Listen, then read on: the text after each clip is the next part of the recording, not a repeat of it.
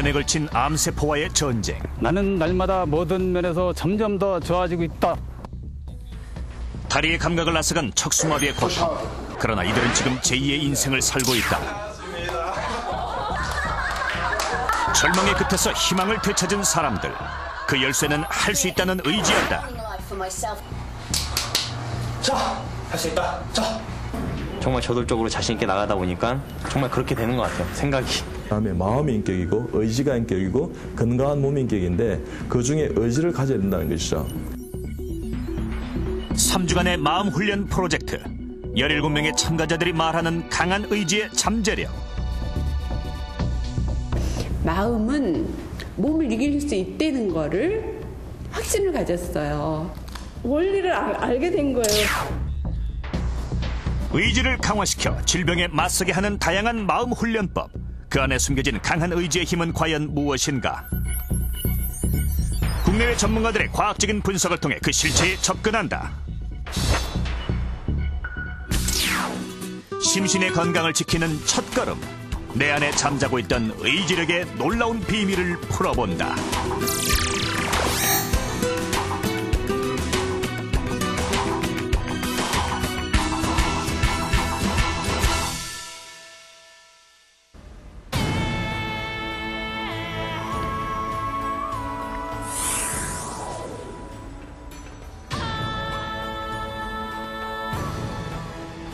고대 그리스 신화에는 조각상과 사랑에 빠진 한 남자 이야기가 나옵니다. 그 주인공은 바로 키프로스의 왕 피그말리온인데요.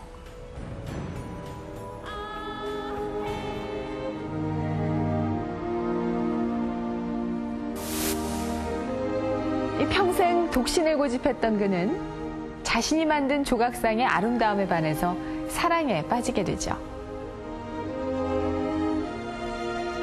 이 불가능한 사랑을 이루기 위해서 피그말리오는 여인의 조각상과 결혼하게 해달라고 밤낮으로 기도를 했습니다.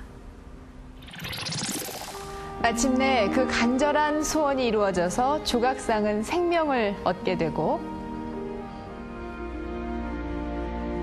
이 두 사람은 행복한 부부가 된다는 것이 신화의 결말입니다.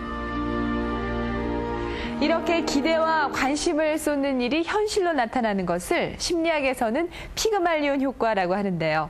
현대의학 역시 질병 치료의 한 방법으로서 이 피그말리온 효과에 주목하고 있습니다. 이 환자 본인이나 가족의 강한 의지가 질병 치료에 있어서 매우 긍정적인 영향을 미친다는 것이죠. 오늘 생로병사의 비밀에서는 암과 척수마비 그리고 아토피 등 쉽게 극복할 수 없었던 질병을 딛고 일어선 사람들을 만나봅니다. 지난해 영국에서는 한 심리치료소에서 척수마비 환자를 걷게 했다는 내용이 보도돼 큰 화제를 모았다. 화제의 심리치료소인 마인드 클리닉. 척수마비 환자인 얀 스템 씨도 일주일에 두 번 이곳을 찾는다. 입구에는 휠체어로 올라가기 힘든 경사길이 있지만 아무도 도와주지는 않는다. 모든 치료의 기본은 할 수 있다는 의지에 있다고 생각하기 때문이다. 2년 전 추락사고로 하체 감각이 전부 마비됐다는 진단을 받은 얀 스템 씨. 다시는 예전처럼 걸을 수 없다는 얘기를 들었지만 그는 포기하지 않았다. 병원에 입원한 첫날이었어요. 의사들에게 제 다리 상태와 회복 기간에 대해서 묻자 어, 의사가 그러더군요. 다시 걸을 수 있을 거라는 기대는 아예 하지도 말라고요. 다리 감각도 회복이 안 될 것이라고 하더군요.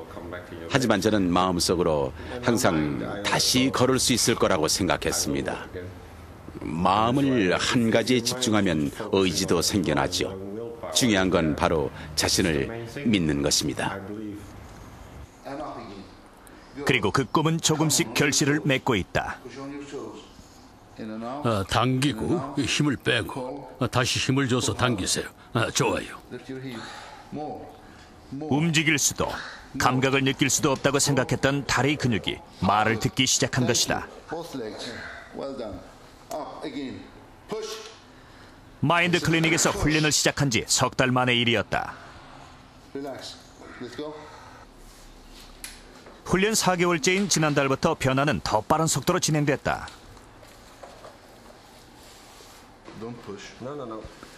입원해 있을 때는 모터가 달린 자동 자전거에서 재활 치료를 했던 그가 두 다리를 움직여 자신의 힘으로 자전거를 타게 된 것이다.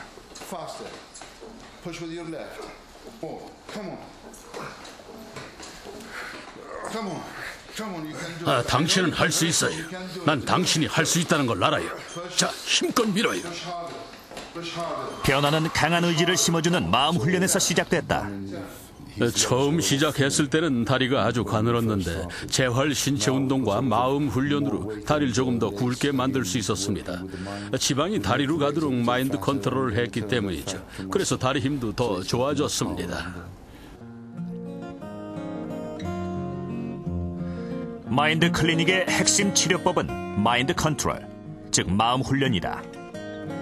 환자들은 명상과 자기 암시 등의 프로그램을 통해 반드시 다시 걸을 수 있다는 의지를 키운다.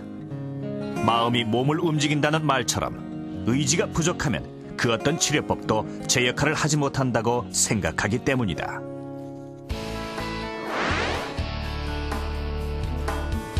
이런 방법으로 마인드 클리닉은 지난 수년간 여러 명의 척수마비 환자들을 다시 걷게 했고 이들의 극적인 이야기는 언론을 통해 영국 전역에 신선한 충격을 안겨줬다.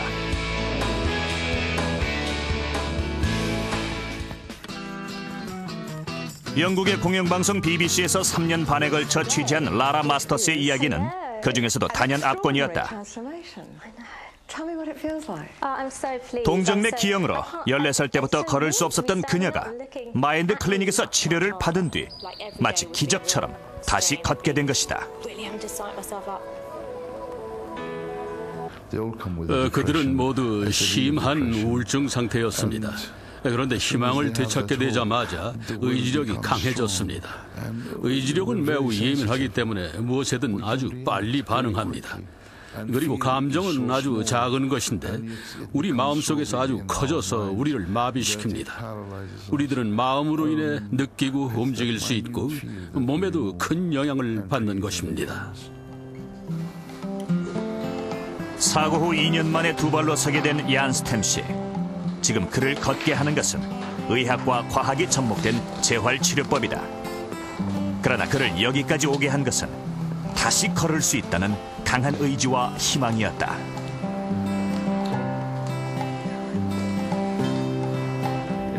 어, 다시 걸을 수 있다고 생각하니 정말 믿을 수 없을 정도로 행복합니다. 힘이 아주 많이 들지만 다시 걸을 수 있으니까 정말 좋습니다. 강한 의지로 질병을 이겨냈다고 믿는 또 한 사람. 나는 날마다 모든 면에서 점점 더 좋아지고 유방암. 환자인 김기수 씨는 2년 전 폐까지 전이된 암세포 때문에 6개월밖에 살 수 없다는 진단을 받았다.